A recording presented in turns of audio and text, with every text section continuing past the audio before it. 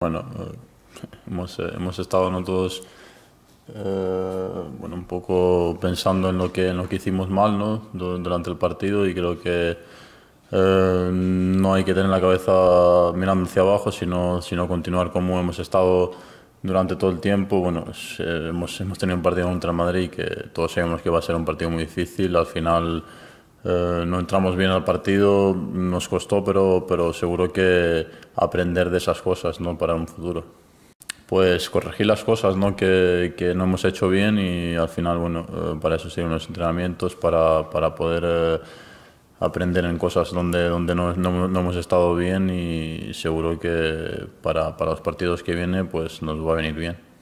Creo que, bueno, eh, no, voy a, no voy a decir nada de, del nivel personal porque, bueno, hemos perdido 4-1 y al final, pues, eh, tanto como, como los que estuvimos en el banquillo, como, como los que han jugado, y creo que todos tenemos que aprender ¿no? Eh, más de, de, las cosas que, que, no hemos hecho bien para, para, para, que nos sirva, ¿no? porque al final durante toda tu carrera como un futbolista pues vas aprendiendo cosas nuevas siempre.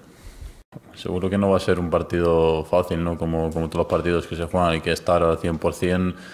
Desde el minuto uno, pues eh, ya hablaremos eh, más adelante, seguro el míster nos hablará más de, del rival, aunque, aunque todos sabemos que es un equipo bueno y al final pues eh, hay que entrar en el partido, como he dicho, eh, empezando, empezando muy bien y acabar el partido también muy bien, ¿no? Porque como, como, como empezamos el partido contra el Villarreal, por ejemplo, pues eh, al final acabamos muy bien también y creo que, creo que esa es la línea donde, donde tenemos que estar, ¿no?